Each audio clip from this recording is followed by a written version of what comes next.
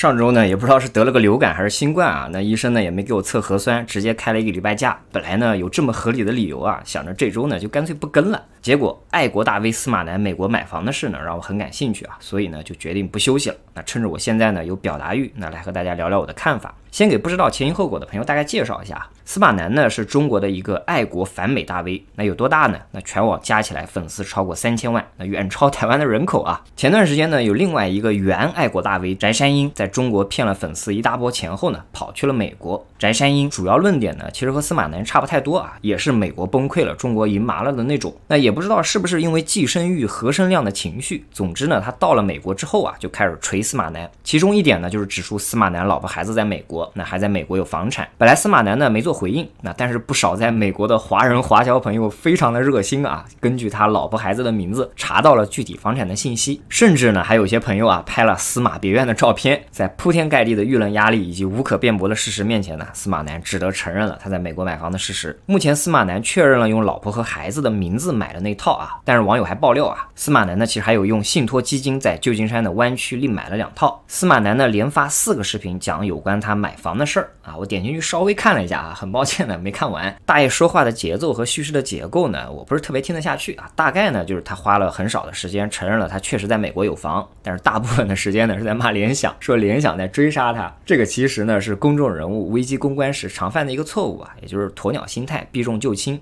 那以为自己含混的道个歉，然后再扯去别的话题，事情就能过去了。现在舆论比较哗然的原因啊，当然不是联想和司马南的矛盾，而是司马南呢过往多次否认在美国有房产，另外呢也批判有钱人把钱和小孩送去美国。结果比较讽刺的是啊，他也把钱转去了美国，孩子呢也在美国读书。更搞笑的是呢，还有人扒出他的老婆啊在美国免费做义工。哎，这个有点像什么场景呢？类似于极端宗教保守团体里的反同领袖啊，每天呢到处演讲反对同性恋，结果呢自己也是个同。那这件事情发生的时候呢，绝大多数人啊，应该都没啥大反应啊，最多呢就当成笑话听一听。因为只要你不是那个极端团体里的一员，那这个反同领袖是不是个同，你是无所谓的嘛。那真正反应特别大的呢，其实是两种人。那一个呢是在这个团体里坚信领袖反同言论的一批人，那另外一种呢，当然就是同性恋呗，是吧？你他妈的天天骂我啊，结果你也是一样的，那我逮住个机会当然要骂回去嘛。所以司马南现在比较辛苦的地方啊，就是要同时受到来自两个方面的压力啊，快要赶上小岛弟我了。我呢也不想落井下石啊，看我视频多的朋友应该知道，通常来说呢，我不会从道德上批判任何个人，那除了一些政治人物，原因呢也不是因为我想扮演中立啊，而是呢因为我知道我自己呢也是有私欲的。当我站在道德高地上去批判别人的时候呢，总有一天这个压力呢也会回到我身上。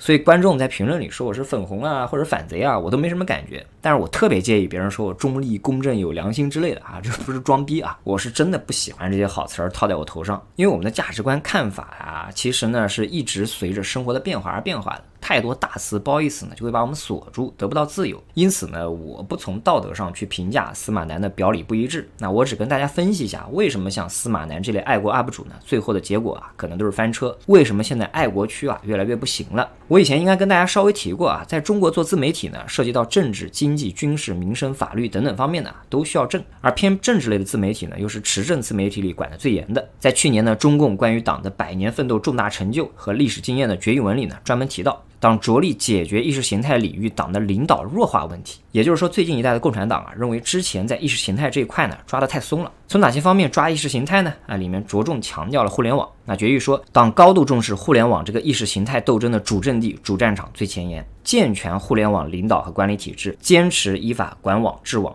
营造清朗的网络空间。那所以我们会明显的看到啊，最近几年网络监管越来越严，在自媒体见证圈里呢，有三个主要的变化。首先是反对共产党、批判中国的声音基本完全消失，那只剩下很少的几个自媒体呢，还可以稍微的批评一下。第二点呢，是剩下的爱国自媒体人数呢，也在持续的减少。那一部分呢，是因为拿不到证被迫消失，还有一部分呢，则是在内容创作过程中呢，触碰到了禁忌。最后一点呢，则是爱国自媒体输出的内容同质化越来越严重，质量呢也越来越低下。我不知道大家现在看爱国自媒体的视频是个什么感觉啊？反正呢，我是看的少了。大部分情况下呢，看个标题啊，也就能知道里面是什么样的内容了。这跟八九年前李世默横空出世，每一个观点都能刷新我的世界观啊，不可同日而语了。很多人开始关注爱国自媒体呢，是因为金灿荣。那我对金灿荣呢不是特别感兴趣，但是我特别喜欢李世默。他们两人观点呢其实是差不多的。那区别在于金灿荣呢是在教室或者大会堂里啊对着观众一个人单口输出，李世默呢则是跟一帮老外辩论啊，而且呢能带入西方人的价值观，然后呢把老外给变得哑口无言。那目前中国的现状是呢，只有爱国阵营单方面在秀。那国内的民主派、自由派呢，已经不见了。那国外的观点呢，也不能直接传到中国。那些批评中国的声音啊，都是爱国媒体经过过滤后，在反驳时进行的一些引用。这在我看来呢，就很没意思。就像超英电影里没有大反派，那复仇者联盟每天就是抓几个抢便利店的。所以大家看我啊，刚开始做视频的时候呢，还会酸两下高晓松、袁腾飞。那现在呢，我应该很长时间没有酸任何公知了，甚至不武嘛。人家现在都这样了，你还踩两脚有什么意思呢？要是袁老师啊，还是十年前的袁老师。我的毛泽东系列呢，肯定会跟得非常的勤啊。他讲一期，我跟一期，是吧？当然呢，可能不是每个人都喜欢竞赛啊。有人呢，也许就是喜欢听爱国阵营单方面输出。这里呢，就又涉及到另外一个问题。那你以为人家的证是白拿的吗？能拥有一个媒体证啊，恰恰说明他们知道什么能谈，什么不能谈。那么有多少事情是能谈的呢？那很可惜啊，大部分事情都不能谈，或者呢，不能往细了谈。那比如说土改啊、大跃进、文革、六四，不是说这些事情完全不能谈，而是呢，只有特定的人可以从特定的角度讲特定的观点。在讲之前前呢，稿子应该。都是审查了三五遍的。这是因为共产党呢需要紧紧的抓住历史的解释权，那历史是一方面啊，对于时事呢抓的其实更严，只要涉及到官员或者比较敏感的时事的，那也不允许谈。比如说彭帅、佟丽娅的事情，这种估计大家能理解啊。但是封杀赵薇的时候也是完全不准聊啊，就搞得大家也是一头雾水。那一个时政的内容创作者啊，有太多的红线，会极大的限缩内容的丰富程度。当然有人可能会说啊，这都不重要，那么我们主要看内核，大国师们不就是做的很好吗？那早期爱国阵营做的各种理论论述呢，确实不错，内容呢既精彩又有。教育意义又不涉及太多具体的社会事件，说穿了呢，就是宏大叙述啊，中必赢流派。那必须承认，这个流派曾经呢非常的辉煌，极大的增加了中国人民的自信心。但是最近几年呢，这个流派的流量下滑非常严重啊。逛知乎的时候呢，发现一篇相关的文章，总结的非常好。那说现在中国的舆论的主要矛盾呢，已经有几年前的左右矛盾变成了现在的上下矛盾。那以前中国刚刚稍微有些钱，想要证明自己比美国更有优势，人民呢需要一种自我认同。而而如今呢，因为疫情的反复，高房价的预知未来。各种类似周公子的社会事件，使得百姓关注的矛盾点变了。但爱国阵营里的大部分人呢，其实都是正规军啊，组织呢都是已经给他们划分了具体的任务，那么他们只得到处一遍又一遍的讲差不多的论述。这就跟我去医院看牙疼啊，医生呢帮我做了个全身检查，告诉我我这样的身体素质啊，跟十八岁的年轻人一样啊，能活到一百岁。那我很开心的回家了，但是牙呢还是在疼啊。很多专家的理论啊，是从国家的层面出发的，对他们来说呢，老百姓活得怎么样，并不在他们的研究范畴里。其实大部分的爱国阵营学者的理论啊，都是。基本正确的。那我在很多视频里呢，也表示我看好中国的发展。但是看好中国的发展，不代表我认为中国人的生活好啊。那中国人现在的生活水平呢，比二十年前、三十年前肯定是有非常大的进步。但是很多人呢，误把北上广的生活水平当成了中国的平均生活水平，误把大城市出国留学的孩子选择海归当成了中国有非常大的职业吸引力。那实际上，中国和发达国家呢，还是有非常大的差距的。很多你以为的中国的强大，都是靠透支未来的潜力，以及牺牲了百姓很多的利益来达成的。就像很多人问我，哎，既然你是做半导体的，为什么不回国呢？很直接的一个原因，我不是那种不可或缺的人才。国内给的薪水呢，其实一般，而中国的个人所得税呢，最高能扣到百分之四十五，新加坡只扣百分之二十。简单一算，到手的收入呢，实际上变少了。而要拿到这个收入呢，还得去一线城市工作。那这些城市的房价比新加坡还要高。更关键的是孩子的未来。那在新加坡，只要孩子不算太笨，愿意努力，上顶级名校的难度呢，不算太大。而中国有多卷，大家也是知道的。那大家可以回顾一下我以前讲年轻人爱国的视频啊，我在里面就已经说过了，年轻人现在特别的爱国，是因为国家这些年强大了。他们自身呢受到的挫折又少，等到真的上社会开始工作了，开始还房贷了，开始养小孩了，想法呢就会有一些改变。所以大家看啊，爱国自媒体内容创作受到了限制，潜在观众的喜好呢有可能有了改变。在初期爆发了一大波流量后呢，开始萎缩呢是非常正常。这对于有国家背景的所谓的自媒体来说呢是无所谓的。那很多人呢本来就是大学教授、研究员或者智库，手上呢有大把的研究经费，领导的赏识比观众的那点支持呢要重要的多。所以即便流量下降，他们也愿意继续自说自话。这部分自媒体呢，我认为不能说他们翻车了啊，只能说是过气了。最后呢会慢慢的消失在观众的视野里。但是爱国自媒体里呢还有一些从野生爱国自媒体里被招安的，那比如说像司马南这样，流量的下滑呢就代表着收入的下降。因此呢，必须做出一些改变，想办法吸引眼球，另辟蹊径。目前他们开发出来的两个主要流派啊，就是美国邪恶即将灭亡，以及资本邪恶即将灭亡。因为骂美国和骂资本啊，不在被管制的行列里。而且我前面也说了嘛，单独一个人秀在那儿讲理论，观众容易腻。那创造一个虚拟的敌人，每天不停的胖揍他们，既可以安慰到一些人，让这些人呢以为自己的失败都是美国和资本害的。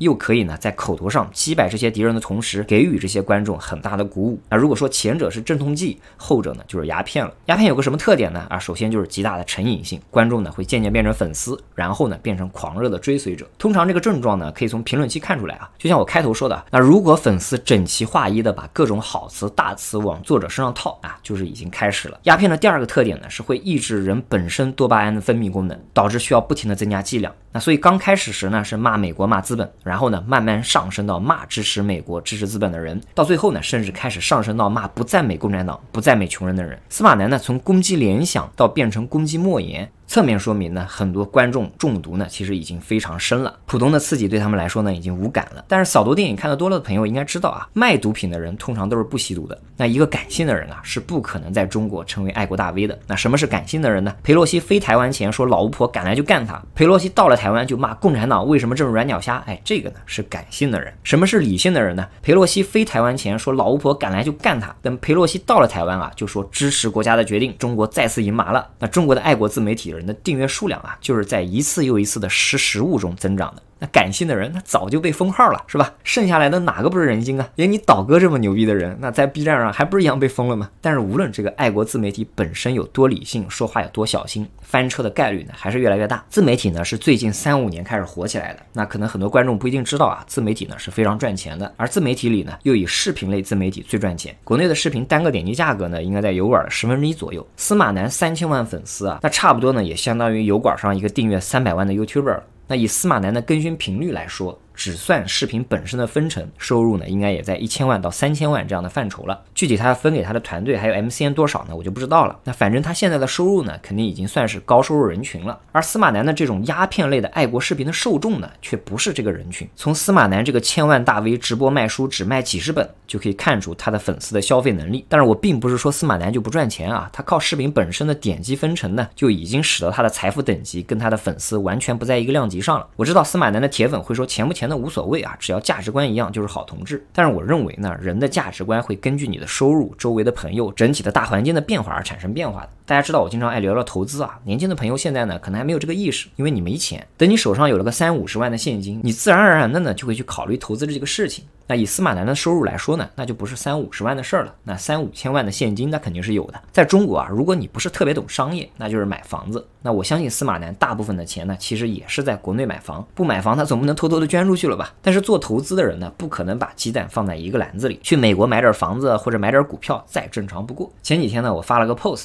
大体呢就是劝大家呢，把司马南当成一个演员，不要对人家去美国买房上纲上线的。结果有一个观众啊，非常认真的怼我，他说：如果李家坡一边要说加大民生，投资一边把国有资产转移到海外，你是不是也能理性的理解总理？啊，我当时直接就愣了好久啊，就为什么呢？因为新加坡好像就没扯过什么民生投资这件事情，那公共设施基本都盖完了嘛，那国家只需要做些维持，其他的民生投资你交给私企不就行了嘛？而至于新加坡的国有财产最重要的一部分啊，也就是每个新加坡人都在交的 CPF，新加坡财政部呢会把这部分钱导入新加坡政府投资公司和淡马锡控股，然后这两家公司啊就会去全世界买买买，比如我们看淡马锡这些些年的投资对。新加坡的投资呢不超过百分之三十，而对中国的投资呢超过了百分之二十，美国呢有百分之十几，像阿里巴巴、蚂蚁金服、滴滴啊、淡马锡呢都有投资。那至于说新加坡人、新加坡的总理、官员们会不会转移自己的财产？说实话呢，我也没见过什么人或者机构着重讨论这些话题，因为我们赚到的钱啊就是我们自己的，只要它不是黑钱，我要把钱存在哪里、用在哪里，好像不关任何人的事情。所以你看啊，我说的这些是不是和司马南鼓吹的中国人不应该去国外投资完全不是一个概念的，甚至和中国人理解的外汇。也不是一个概念啊！中国人呢已经习惯了外汇兑换的不自由，习惯了钱去海外是不道德这样的观点。那普通人这样的想法呢，可能还不是很根深蒂固啊。但是长时间在爱国自媒体熏陶下的人呢，真的会深信这些理论。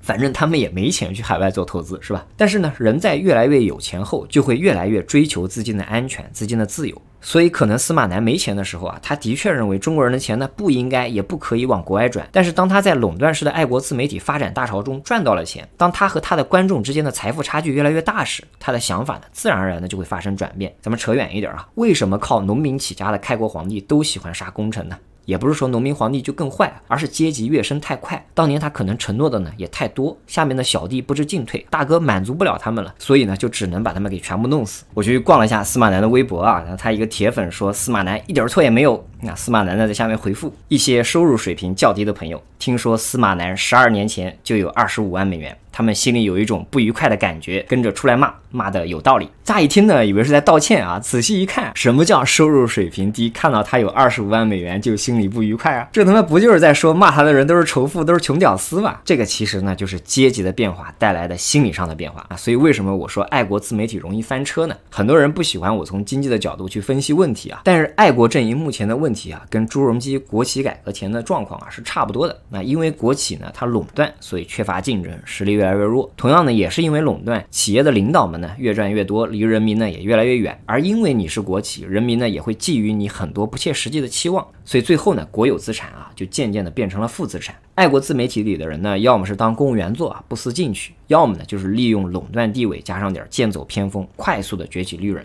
离人民越来越远。不思进取的这些人呢也就罢了啊，危害还不大，就怕这些剑走偏锋，带着观众们练葵花宝典的，哎，结果转头他生了个儿子，那留着铁粉们在风中凌乱啊。而且所谓的爱国阵营呢，本来就已经接近一潭死水，但是阵营内部的斗争啊，搞得还挺激烈啊。其实司马南这个事儿呢，想让他过去，最好的办法就是闭嘴不谈。但是爱国阵营里其他的 V 啊，看起来呢不愿意放过搞司马南的这个机会。那比如说另外一个爱国大 V 胡锡进呢，就声援司马南，大概意思呢就是司马南在美国买房没毛病啊，引得一群司马南铁粉啊直呼路遥知马力，日久见人心啊。但是读过一些书的朋友应该就会发现啊，老胡这个真的就是杀人不见血。开头他就说啊，哎，我老胡在国外没有一分钱存款，所以呢可以在这个话题上发表言论啊，直接暴击了所有不敢在这件事情上发声的其他爱国大 V。其次呢啊，也是在说司马南你没有资格自辩哦。接着老胡呢又说。去国外投资买房，不是进那个国，也不是哈那个国啊！再次打脸司马南的逻辑嘛。后面的所有的内容其实都是在指责以前司马南的极端言论的错误，而且通篇呢只说了司马南在美国买房没问题。但是呢，完全没有提及司马南说谎这件事情哦。其实呢，就是在严肃批评司马南。老胡这篇小短文一出啊，司马南算是很难翻身了。这后面呢，还有很多爱国小 UP 主啊，上来就说：“哎，我在美国没财产，我来谈谈司马南的事。”其实大家可能知道啊，司马南当年批联想的时候呢，老胡是为联想说过话的。后来呢，被司马南的粉丝一通修理。今天老胡说的这些话呢，是既能吸司马南的粉，又能吸讨厌司马南的人的粉，这才是真正的赢麻了啊！可是老。老胡赢呢，不代表爱国阵营就赢了。那我想从这件事情以后啊，所有的爱国大 V 呢，都会遇到一个尴尬的问题啊：你在海外有财产吗？你孩子在海外吗？就像我前面说的啊，当你有钱到一定程度时，你自然会在海外有财产。如果你的孩子没办法靠能力考进清华北大，你自然会安排他进海外的名校。如果你说谎啊，被扒出来就是个死；如果你说实话啊，就像陈平教授一样，愿意听他说话的人就少了。也许有朋友说啊，那就从没什么钱的人里面选一个厉害的嘛。那么又回到前面。讲的这个没钱的人呢，很快就有钱了，然后呢，自然而然的又脱离群众了。那目前司马南呢，已经在各平台被禁言了，那这是网信办的一个正常操作。那引起争议呢，就先封起来，等风声过去了再说。那鉴于现在爱国阵营流量呢已经大幅下降，宣传部门呢可能还不愿意失去司马南，所以最终呢，应该还是要把司马南放出来的。可是这之后如何盘活爱国阵营这一潭死水呢？如何解决这个翻车循环呢？